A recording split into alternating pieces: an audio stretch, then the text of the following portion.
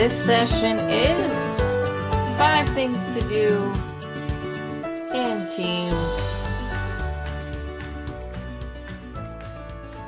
Or five things to do when presenting in teams to warm a frigid audience. You are in the right place if that is the session that you wanted to see.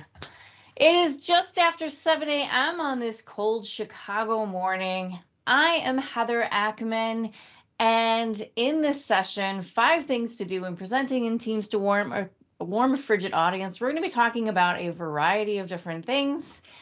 Um, but before we get started on that, just a quick little Teams refresher. I don't know how familiar you guys are with Teams, but this is the refresher. Um, if you can't hear me, um, please type something in the chat window. I don't have a moderator currently in the window, so I will be checking the chat ever so often to make sure that all of you guys are with me and uh, don't have any issues. Um, if you want to speak up, I have allowed the microphones so you can say something if you have a question or a comment that you'd like to add, feel free. Um, uh, let's see. If you want to use, um, uh, if you if you want to share your video, I I do have like um, portions throughout the um, slide where I ask questions and we have opportunities for a group discussion, feel free. But do keep in mind that this is being recorded for YouTube. So let's keep the chat family friendly and that discussion. And if you do have something to say that you'd like to con contribute, uh, feel free to raise your hand in that little chat. And of course, the keyboard shortcut for that is Control Shift K. That will raise and lower your hand in Teams. Um, and yeah, if there is a moderator in here and you'd like to assist, feel free. Be be my guest. I I will take any help that you guys like to to to have. I always like an extra pair of eyes. Um, if you see a comment in the chat and I am busy talking, feel free to unmute and shout out that question for me. I would love that help. So yeah, um, let's get started with uh, just a quick question. I'm really, really curious. How many of you in um, just the past couple years have upgraded the equipment that you use for meetings or presentation just in the last couple of years? Really, really curious. You can do a thumbs up, a heart, a show of hands, or just even tell me in the comments or unmute and tell me. Thomas says not much.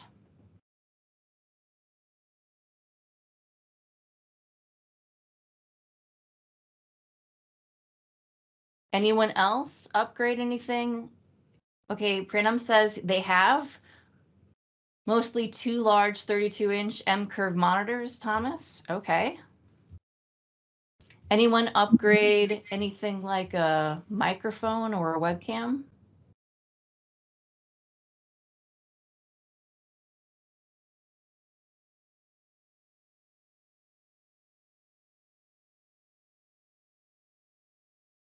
So far, we just have monitors.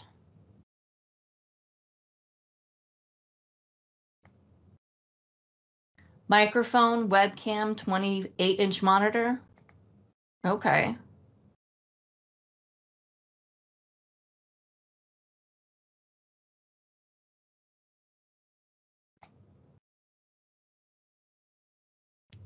So a few things.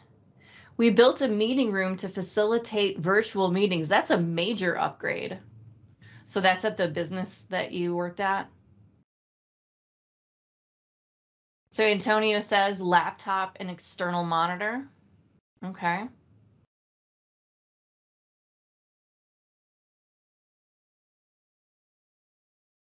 We're getting some thumbs up on some other questions. Yeah. Okay. I personally just moved into a new house uh, about over the summer. And um, I know, like, you know, I, I make computer training videos for a living, and we always try to use like a percentage of the profits um, to upgrade equipment over time. And this year, we just decided, you know, we, we should probably upgrade some of the equipment. And so, like, kind of what you see around you, I've got um, a shotgun mic and we've got some lights that we've we finally put in here. Um, but that was like the the recent purchase um, just for some videos and some of the webinars that we've done here. But yeah. Okay. But before we begin talking about the top five things to do when presenting in teams, I think we should also start with talking about communication, specifically communicating in virtual environments, which I've been thinking a lot about lately since um, I was going to give this talk. And with the holidays just passing in um, this new house, um, I was hosting for the holidays for the first time. Uh, my parents came out to dinner, um, which got me thinking about my dad. And, you know, at the same time, I was thinking about virtual communication, which hit me. Communicating in virtual environments is kind of a lot like talking with my dad. When road tripping, you know, um, I, I often asked my dad if uh, he needed to use the rest area, and he'd simply say, I'm good. But he also uses that phrase at other times, like when walking alongside him, I, you know, watch him, you know, use the walker. And sometimes that walker would get out a little bit too far ahead of him and it almost like looked like he'd start losing control. And i'd, I'd ask him are you okay? Um, do you need help? And he'd say no i'm good. Sometimes even just before he would fall down. And he'd also use this phrase just before or after um, he'd say you know he'd say i'm good um, at a really horrible time um, this came out of his mouth after he collapsed and fainted while he was having a heart attack. Um, I, I was on the phone with 911 and he was arguing with me while on the ground that he didn't need to go to the ER, all the while insisting he was good. So, how is communicating in a virtual environment like communicating with my dad?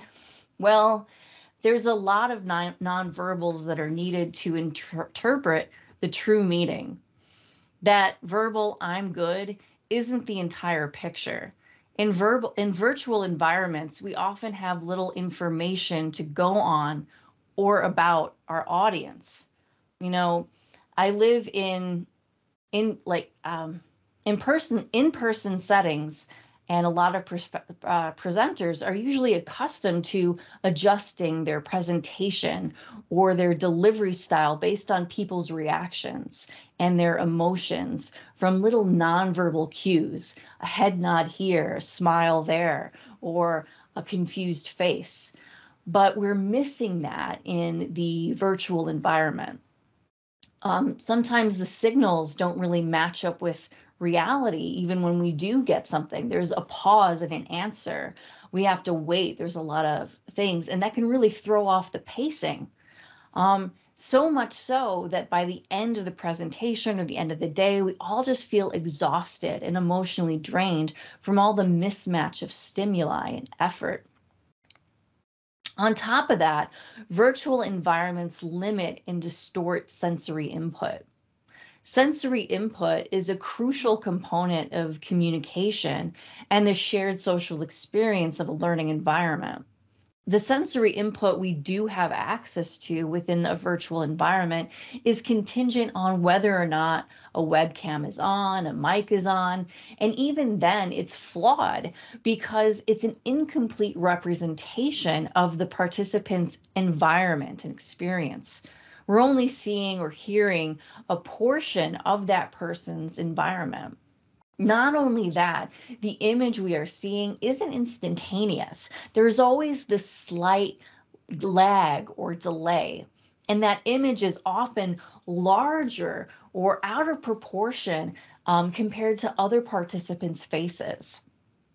According to the article, Nonverbal Overload, a theoretical argument for the causes of Zoom fatigue, author Jeremy Bailenson proposes that a potential cause for fatigue may lie in the nonverbal overload inherent in video conferencing.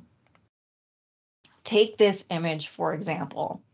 Now, this is just a stock image. It's not really reality, but it does illustrate Bailenson's point that if everyone turns their cameras on and they're sitting in front of, say, their laptops, they are sitting really, really close to their cameras.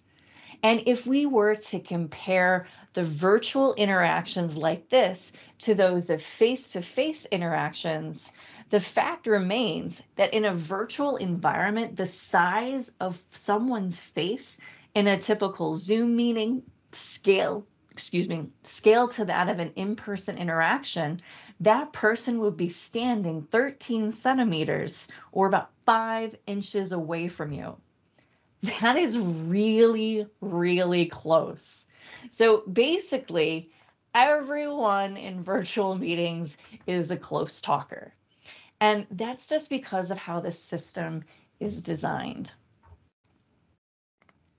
Not to mention, it's a little creepy, uncomfortable, and intimidating to have these impossibly attractive people make intense eye contact with you for hours on end. And that is the reason why Microsoft has designed special views such as the together mode. It's to create a more natural face to face distance and a more realistic environment between meeting participants and the presenter. And realistic, that's a relative term. But there is some research out there to support the use of together mode to combat fatigue. Now, um, do check out this article on Microsoft.com titled Bringing Us Together, particularly the section on uh, better to, titled Better Together on brain activity. You can simply go to Google and type Bringing Us Together Microsoft Together Mode, and you should be able to find that article. It's really a fascinating read. Now, I don't want to talk um, strictly about features this entire time, but um, do you guys have any questions so far?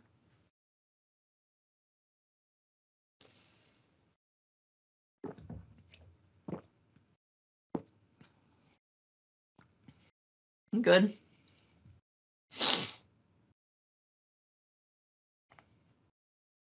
All right.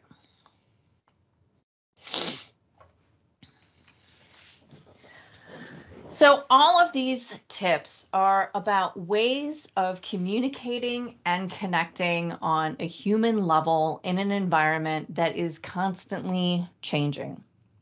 So,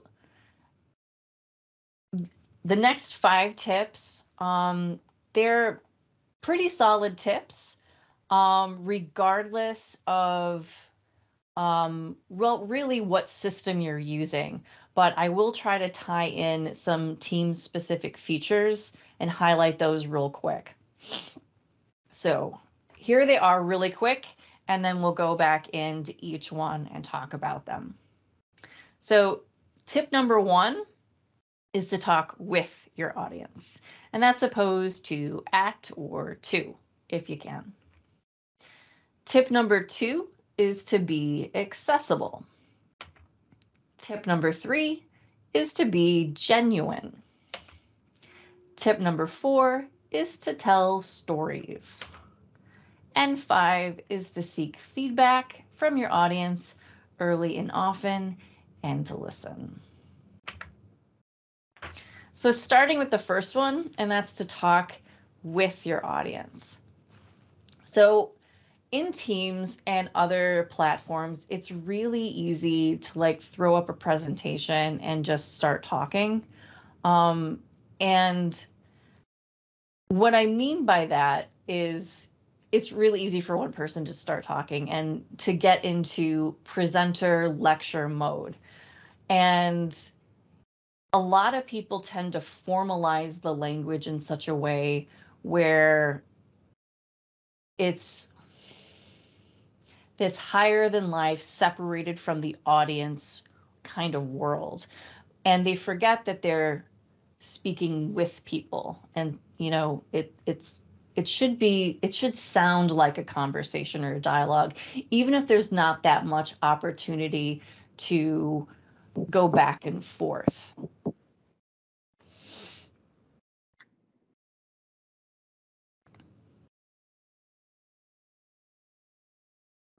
Oops, I just jumped ahead. Okay. So as much as you can, you want to try to encourage a two-way conversation with your audience as opposed to that one way one-way lecture. And I do realize that that isn't always possible depending on the environment or the format of the presentation. So for example, if you are presenting to a general audience of 500 people, you don't always want to tell them all to turn on their microphones. That would just be inviting chaos and, well, it would be bad. Um, you also have to consider the format of the presentation. So I'm comfortable asking you guys um, to turn on like I'm I'm comfortable allowing mics to be turned on with you guys. You know, we're a small intimate crowd. Most of you guys understand the conventions of, of this place. Um, and, you know,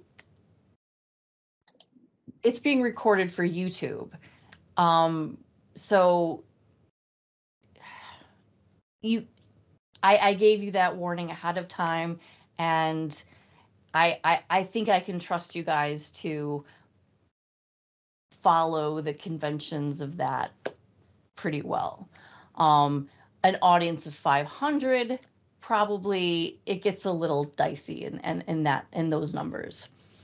But I can't exactly um, just let it be a freestyle conversation the entire time either. Um, then there's also etiquette to consider too. At some companies, you would never interrupt, say, the CEO in the meeting um, and ask a question, no matter the, the size of the company. Oh, question? Okay. and at some companies, um, that's perfectly fine. So, assuming that the situation warrants it appropriate to have a conversation with your audience, that can certainly limit fatigue and help your audience retain and engage with the material better. Um, as for current features that encourage the audience conversation in Teams, these are the top one. You can choose to enable enable audience microphones. Chat, that's ideally moderated. If you've got a moderator, they can um, you know read it or that. Um, there's that Q&A add-in that I really like um, if that's possible. And of course, there are breakout rooms that will encourage conversations among participants we have a comment here. My coworker and I do a series of Ask Me Anything style sessions on M365, Power Platform, and Teams. I always sign in 10 minutes early to start what we call the pre show, where I chat with the audience, tell about how cold it is here, joke around, etc. It sets the tone for the session. I, oh, I always love that. I love starting class early. I love doing the warm up with the audience beforehand. Most definitely love that. Yes.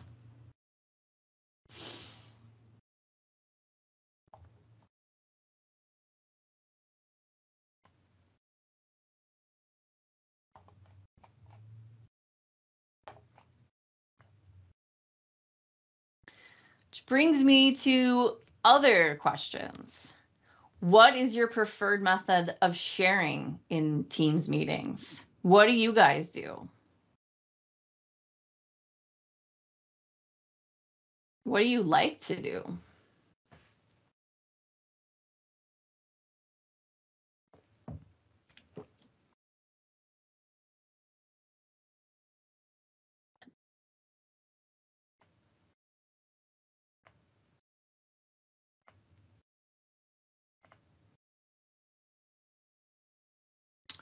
Another comment here. We give them the option to ask the question in chat, raise their hand, come off mute.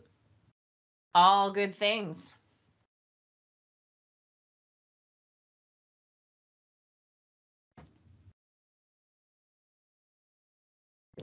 We have another fan of chat here.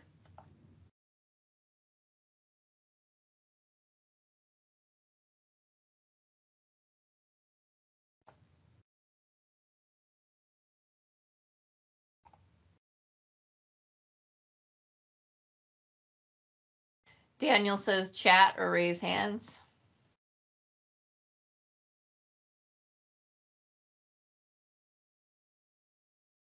And it does seem like the people in this room seem to prefer the chat.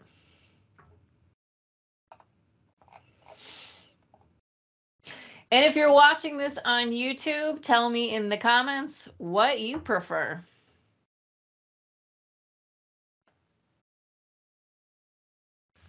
For tip number two, be accessible.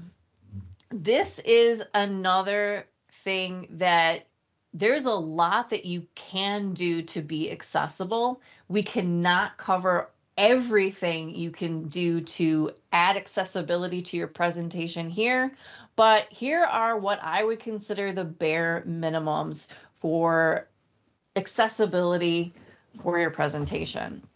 So before your presentation, if you are presenting with slides, make sure your slide text is visible. Now for that, you want to make sure your slide text has a good contrast ratio.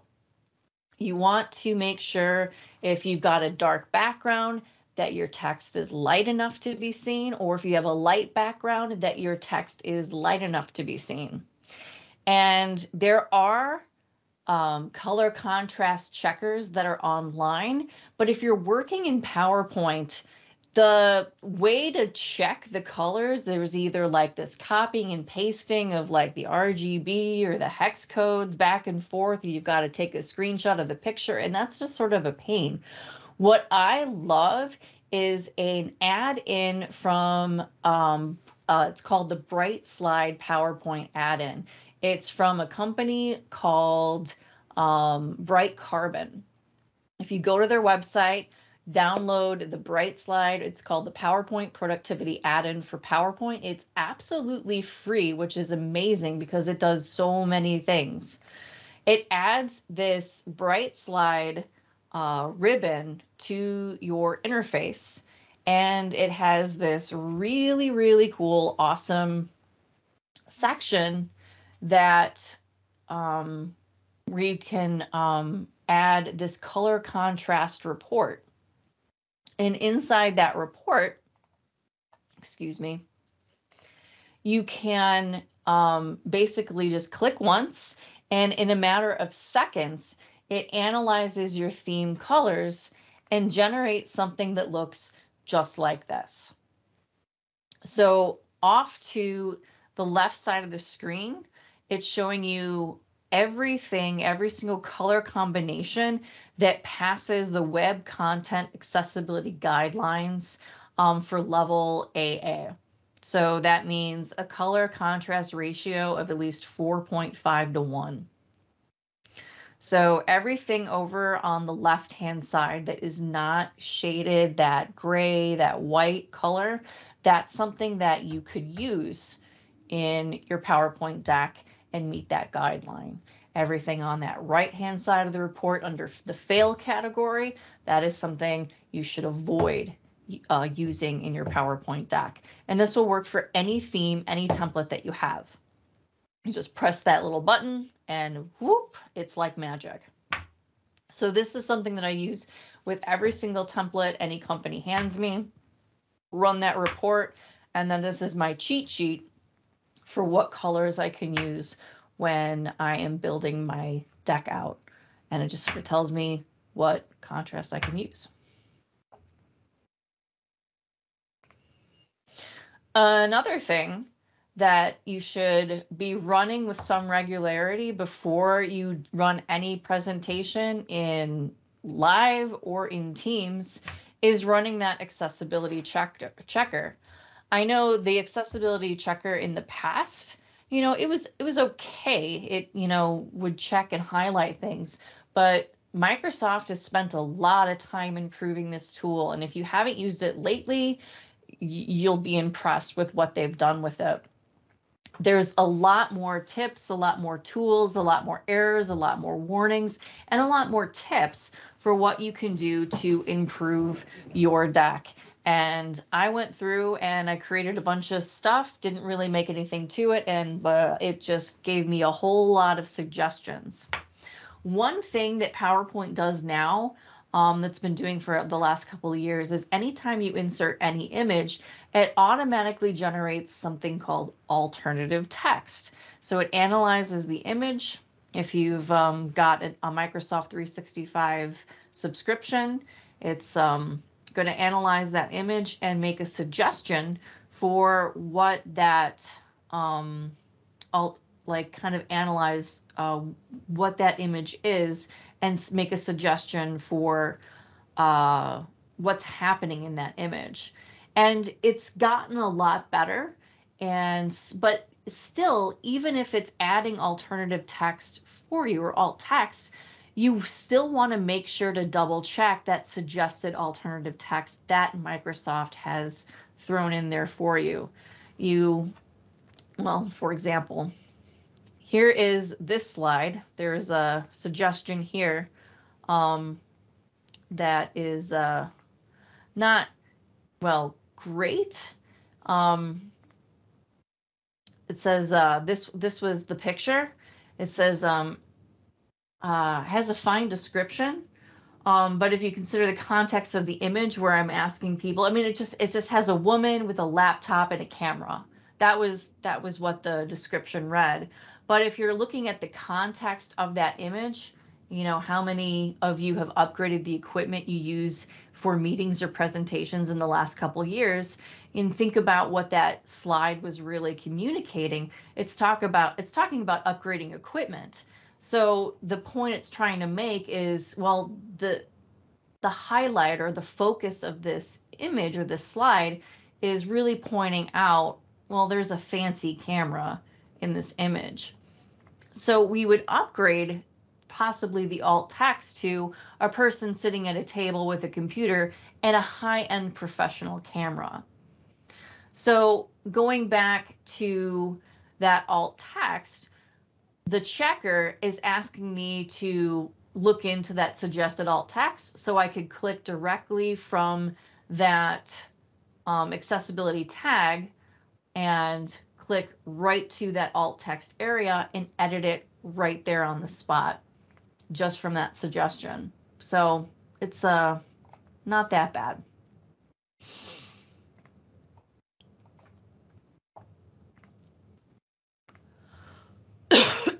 Excuse me.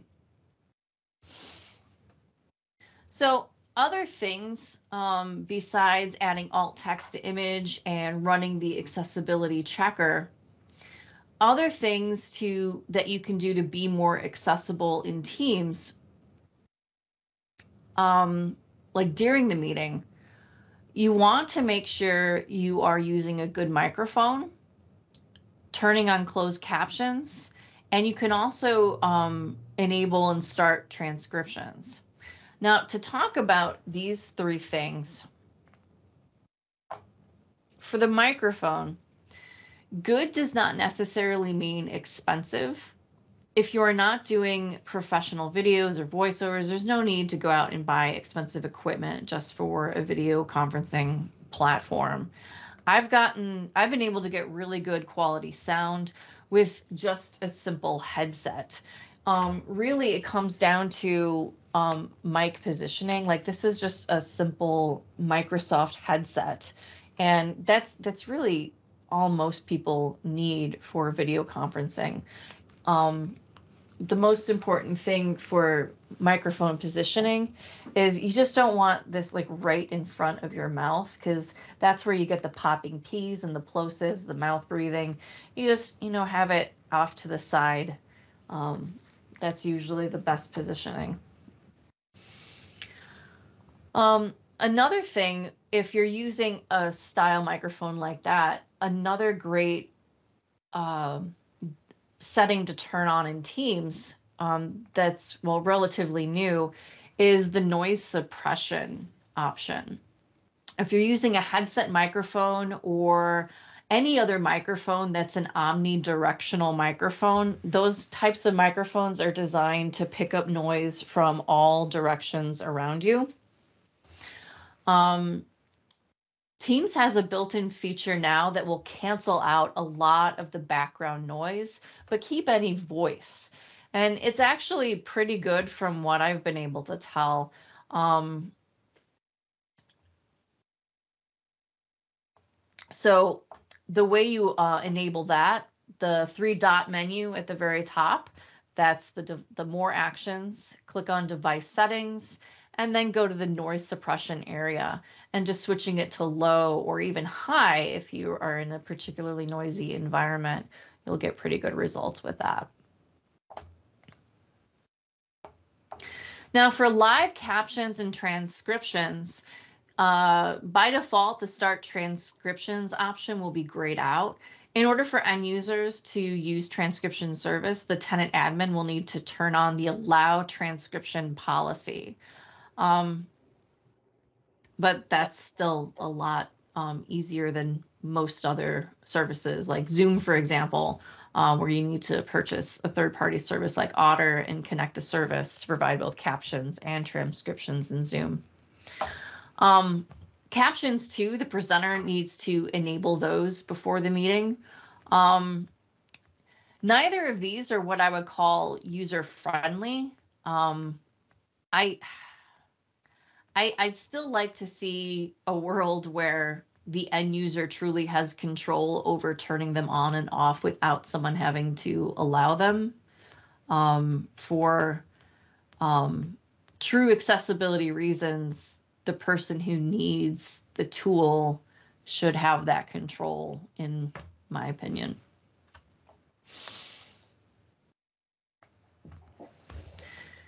Do you guys, what is your opinion on this? What's on your accessibility wish list for Teams?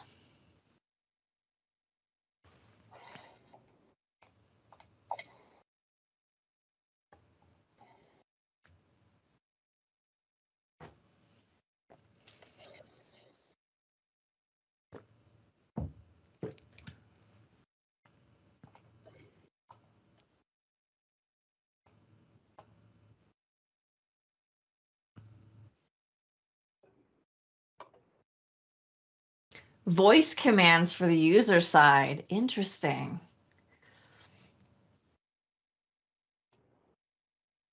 How would that work?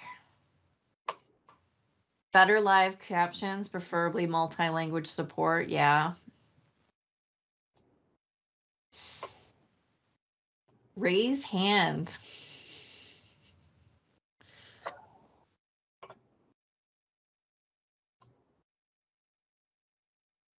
Like just say raise hand and it raises your hand.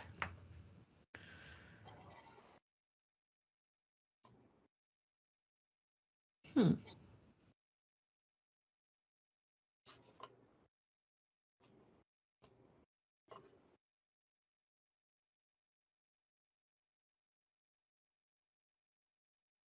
Yes, shortcuts for the user with voice commands.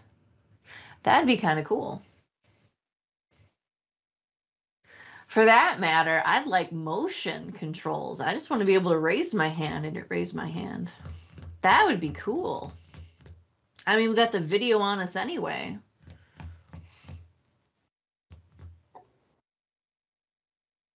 Hmm.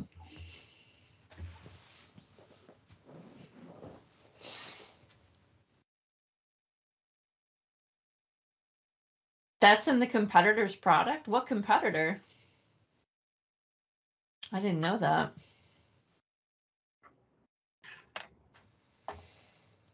So floating chat menu and presenter windows.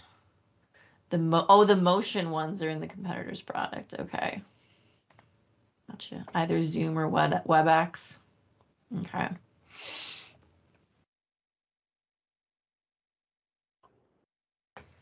Oh, the mesh rollout. Yeah, with the hand, raise hand feature. Okay, yeah.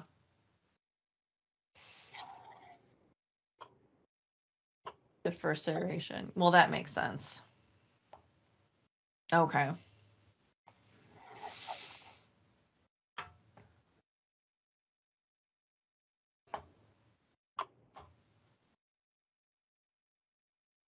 I hope. yeah. All right. Well, if you have any other accessibility wish list items for teams, viewers on YouTube, write them in the comments. I'd love to hear them.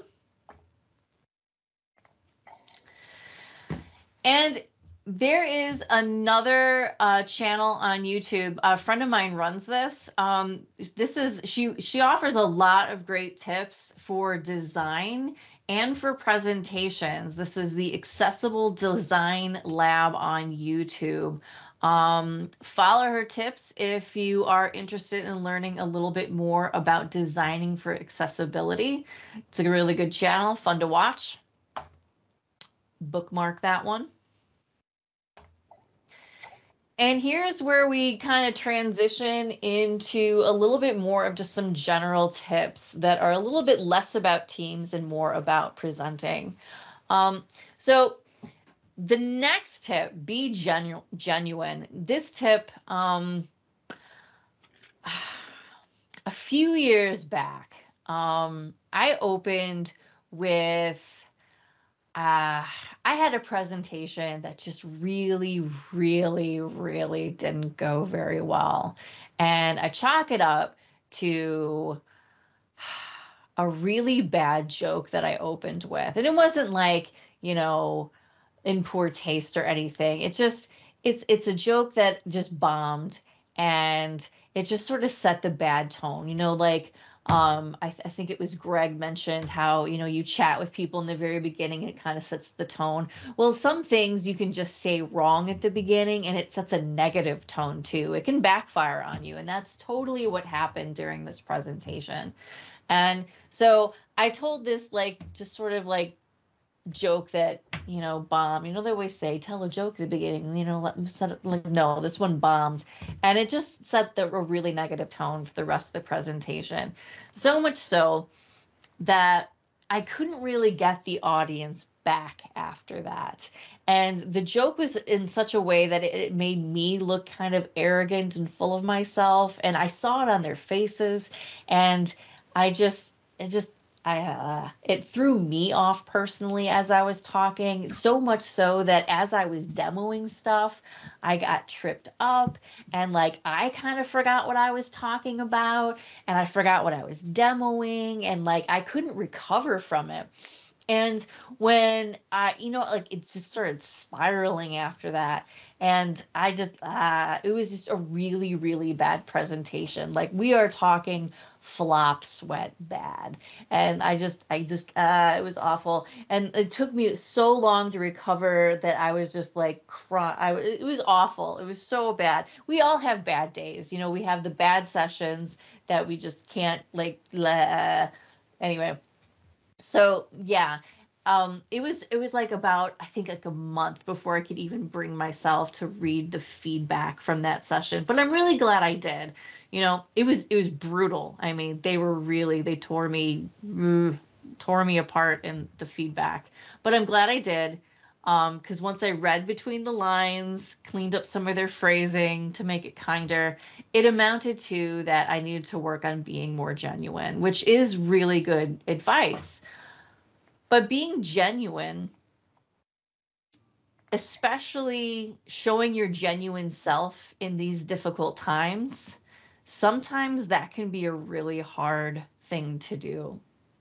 We've all gone through some very challenging life changes and adjusting to a virtual remote or asynchronous communication is just one small aspect of it. Now in Teams, there isn't really a tool to help you be more genuine, but there is something within the UI that can make you feel more self conscious. And this is something that I would love to see maybe change. um, that is the preview of yourself. I, I, I know a lot of people kind of like checking to see how they look, but it almost becomes a distraction for like some people too, like looking at themselves in that lower bottom corner. Like especially if you if you've got like i i use the presenter view all the time and i've got my notes in in that little window and the view is just right underneath there. It's hard not to look at because you know the motions there. Um but yeah there's actually been studies of that and seeing yourself constantly like that mirror reflected back at you does cause like depression and um, kind of like lower self-esteem. So it it i yeah and it's it's it's not good to have that staring back at you all the time. So that is kind of interesting. But anyway what about you how, how do you feel about seeing yourself when presenting? Would you like the option to disable the mirror view of you? I'm very curious. I cannot be the only one.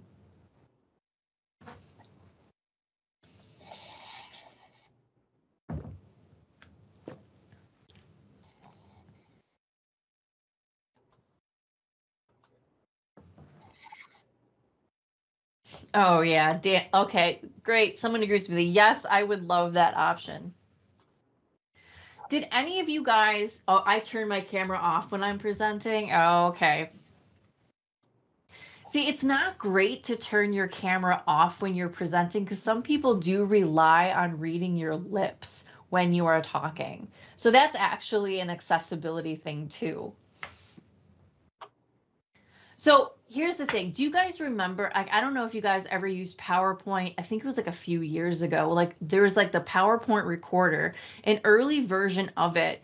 You had the option to record like yourself, but you had an option to turn off the preview of yourself as you're recording. I went into PowerPoint recently to use the recorder and they took that feature away. And I was like, why did you guys do that? That was the I loved it. And I'm like, I wanted that in Teams and now it's gone. And I'm like, why are you taking good features away? And that was just one of them. So yeah. But I, I want that back. And I want it in Teams too send the feedback. So people on YouTube, would you like that option as well when you are presenting to hide your the preview of yourself? I wanting I want to know. I cannot be the only one. Oh, and Greg says one of the competitor companies allows you to remove your video from showing. See? I'm telling you. All right. And the last one, tell stories. Number or not the last one, number 4, tell stories. Stories are memorable, relatable devices regardless of the speaking and delivery medium, but they are especially important in a virtual environment where sensory input is limited. Stories can help fill in the details that are missing from the online environment if you fill that story with plenty of sensory language. So, to illustrate that, let me show you what I mean. My husband is a professor at a large university downtown. And at the beginning of every semester, they gather all of the faculty for these marathon all day department meetings. Now, I'm told they're not only brutally boring, but also so very uncomfortable. It's the underfunded English department, so they all sit in these broken down metal chairs. The floors are concrete, the room is too cold. And to keep them in the meeting longer and to maximize efficiency, they have it catered from their cafeteria. Cold ham sandwiches, no vegetarian option. Oh, and this is no browned Thanksgiving ham your mama used to make. No, this is processed, drippy, slimy, deli ham. This was the very ham tray my husband was sitting by on the afternoon I called him frantic when my daughter came home from school with head lice.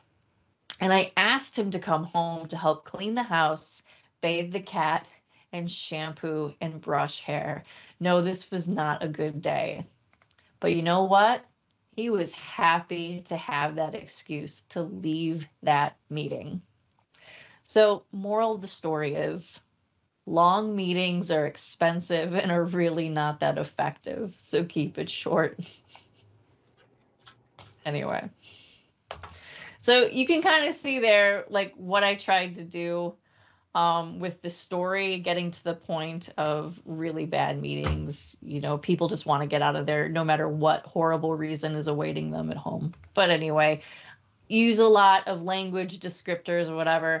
If you want to learn a little bit more about how to tell better stories, there's a lot of really good books out there on telling stories and using telling stories. This is a great book to start with. Um, Nancy Duarte's book called Resonate.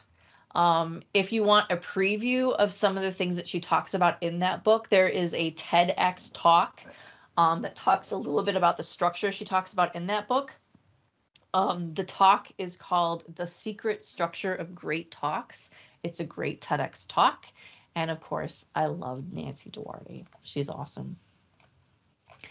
And of course, the last tip is to seek feedback early and often and listen. And that is to, of course, check in with your audience, ask them frequent questions, ask them how they're doing, give them opportunities to give you feedback, to ask questions, and of course, to give you feedback. So, no one can improve without the opportunity to give you their feedback and provide it. So here is the feedback link for the feedback for this session. Please fill that out. And of course, one at the end of the day for the conference itself. We are partnered with a great charity, the Children's First Fund. They uh, do a lot of things for the Chicago area. First and foremost, they support the Chicago Public Schools, but they through their Compassion Fund, they also provide um, a lot of as needed support for families, teachers, um, families of children, uh, especially throughout this pandemic. Um, with a lot of families, um, a lot of children e learning, that means a lot of parents are having to take time off from work to be home with their kids to supervise them throughout the day, which means a lot of parents are not getting paychecks as a result, and the Children First Fund makes up for that by taking care of bills, electric bills, food, clothing, you name it, whatever that relief needs. Children's First Fund makes up the difference. Um, they also provide electronics, Wi Fi to areas in need that don't have high speed internet um, to children who need to connect to their schools. So it re- they really do a lot for Chicago Chicago children. So do please donate if you are able to to the Chicago Public Schools. They need it.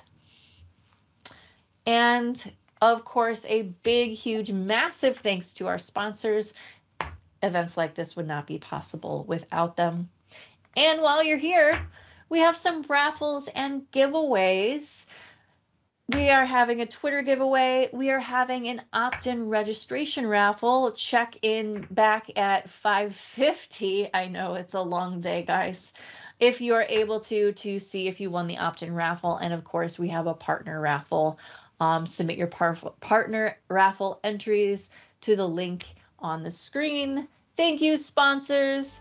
And of course, what questions do you have for me? We have like a minute left.